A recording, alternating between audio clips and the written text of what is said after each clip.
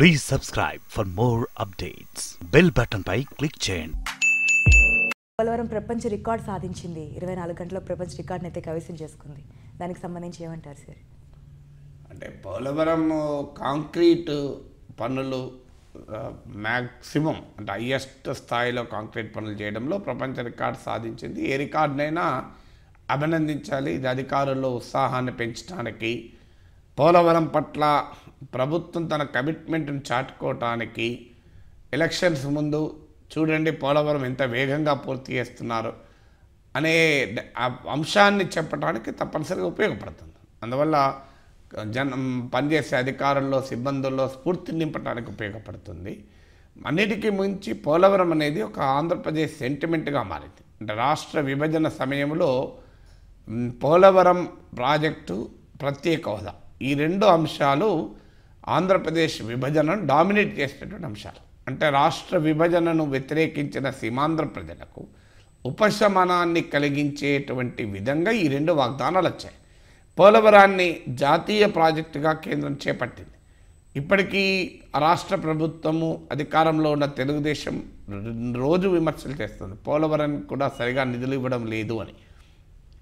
పోలవరంకు నిధులు కేంద్రం నుంచి రావడం లేదు. రాకపోయినా కూడా రాష్ట్ర ప్రభుత్వం తన నిబద్ధతతో పోలవరాన్ని పూర్తి చేస్తోంది. పోలవరం ఆంధ్రప్రదేశ్కు వరము.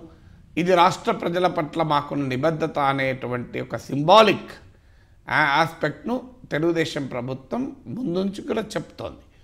ప్రత్యేక హోదా ఇవ్వనట్లు పోలవరంలో కూడా అడ్డంకులు పెడుతున్నారనేది రాష్ట్ర ప్రభుత్వ విమర్శ. ఆ అడ్డంకుల్ని అధిగమించి రాష్ట్రం పోలవరం నిర్మాణం చేపడుతోంది వాస్తవంగా ఉమ్మడి రాష్ట్రంలో కూడా పోలవరం పైన చాలా చర్చ జరిగింది.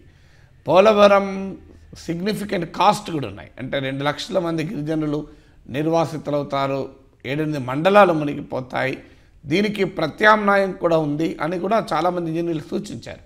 అంటే పోలవరంలో జరుగుతున్నటువంటి డిస్ప్లేస్మెంట్ నిర్వాసితుల సమస్యకు లేకుండా ఇంతకన్నా తక్కువ కాస్ట్లో ఇదే ప్రయోజనాలు అందుతూ నాలుగైదు బ్యారేజీలు నిర్మించడం ద్వారా సేమ్ రిజల్ట్ పొందవచ్చు అని కూడా ఆల్టర్నేట్ డిజైన్స్ ఉమ్మడి రాష్ట్రంలోనే వచ్చాయి. కానీ ఆ పైన డిబేట్ కారాడున్న ప్రభుత్వం కూడా అంగీకరించలేదు. పోలవరాన్ని తెలంగాణ ఉద్యమం వ్యతిరేకించింది. చాలామంది ఆ తెలంగాణ ఉద్యమమో ఇది తెలంగాణలోని మండలాలు మునుగుతున్నాయని వ్యతిరేకించారు. అనేక మంది ఇంజనీర్లు ఇతర రాజకీయ పార్టీలకు కూడా దీనికి ప్రత్యామ్నాయ డిజైన్ ఉండగా ఎందుకని ఇంత నష్టం నిర్వాసితులకు కలిగిస్తూ ఈ ప్రాజెక్ట్ చేపట్టాలి? సేమ్ బెనిఫిట్స్ రావడానికి అవకాశం ఉన్నప్పుడు వాదన వచ్చాయి. ఏమైనా తర్వాత రాష్ట్ర విభజన నేపథ్యంలో ఈ వాదనలన్నీ పక్కకు పోయాయి. ఎందుకంటే తెలంగాణ ఉద్యమ సమయంలో వ్యతిరేకించిన ముఖ్యమంత్రి కేసీఆర్ కూడా ఇది ముగిసిన అధ్యాయం దీని గురించి మాట్లాడకండి అన్నారు. కేంద్రము అధికారంలోకి వచ్చిన మరుక్షణమే ఆర్డినెన్స్ ద్వారా ఏడు పోలవరం ముప్పు మండలాల్ని ఆంధ్రప్రదేశ్కు తరలించాయి కూడా. అందువల్ల పోలవరం డిజైన్ పైన ఉన్నటువంటి ప్రశ్నలు రాష్ట్ర విభజన నేపథ్యంలో సీమాంధ్ర ప్రజల సెంటిమెంట్ని దృష్టిలో పెట్టుకొని ఈ ప్రశ్నలు దాదాపు కనుమరుగాయి అందువల్ల ఇవాళ పోలవరం ప- ప- పైన అందరి దృష్టికి కూడా రావటానికి అవకాశం ఏర్పడింది. ఎస్ అందువల్ల డిజైన్ పోలవరంలో ఇంత వేగంగా చైనా రికార్డును కూడా అధిగమించి కాంక్రీట్ పనులు చేపట్టడం అభినందించారు. కానీ అదే సమయంలో నిజంగా ప్రాజెక్టులలో అసలు రికార్డ్ ఇది కాదు. అసలు రికార్డ్ ఏంటంటే ఇరిగేషన్ ప్రాజెక్టులు ఇంజనీరింగ్ రికార్డుల పైన కన్నా అగ్రికల్చరల్ రికార్డులో ఇరిగేషన్ రికార్డులో ముందుండాలి. అంటే అత్యధిక కాలం పాటు అత్యధిక విస్తీర్ణములో నీటిని అందించగలగాలి.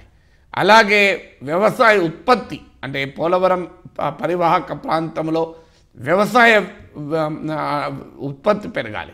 Cost per unit cost of irrigation లోయెస్ట్గా ఉండాలి. అందులో రికార్డు ఉండాలి.